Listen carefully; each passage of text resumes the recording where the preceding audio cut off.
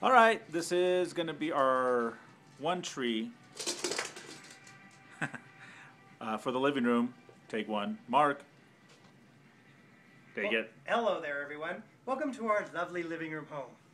This year, as you can see, we. Where do you want me to start, dear? Anywhere. You, would you like me to start with our 1960s Kistler Collister window display elves? These were an acquisition from some very good friends of ours. Oh, you're in the light, dear. Oh, am I in the light? I'm There sorry. There we go. Um, these actually were in the windows, the Christmas windows of the Kistler Collister store at Lomas and San Mateo. Uh, a local store. local store, sorry, that was back in the 50s, 60s, closed in the late, early 70s, I believe it was. And the motors are not working on them right now. Each one of the gears inside these things are made of wood. So it's very old and it's very fragile, so we have to take very good care of them. Um, here we have another one. He's decorating the tree.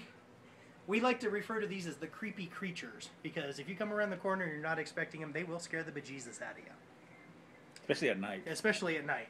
Um, hopefully, by our next Christmas decoration, these will be all functioning and restored to their glorious beauty.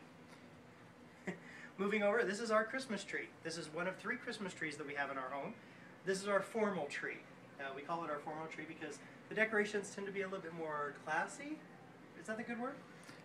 Yeah. a little bit more formal, classy, um, things that you know just don't fit in our other two trees. One which is Star Trek and Beatles, and the other one which is more funky ornaments. Yes. So we do uh, quite. Uh, we were trying to actually hang some more ornaments on there. There's just no place for them, is there? No. Uh, we represent all of our animals on here. We have Dobby and Hermione, little stockings. We also have hidden deep in the tree, and I'm trying to think. There's a little baby Atticus hidden right there. Can you get him? Mhm. Right there's baby Atticus, and I think somewhere is a Lennon. There's a baby Yeah, he's Lennon, right here. and there's baby Lennon on the tree as well. Um, well, of course, those two are babies that we've lost, but uh, Dobby and Hermione are still here, tormenting us as always. and as you move from the tree, fireplace where the stockings are hung by with the chimney with care, and some 1960s bubble lamps, which were a gift from Ed's mom for me, and sitting in front of the fireplace, fast asleep, jolly old Saint Nicholas.